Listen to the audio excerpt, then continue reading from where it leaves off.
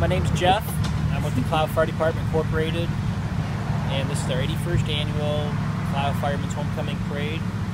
We have a big parade. We have a um, bunch of carnival rides at our homecoming facility at Saginaw and Wilson Road. Yeah, we have bingo going on out there.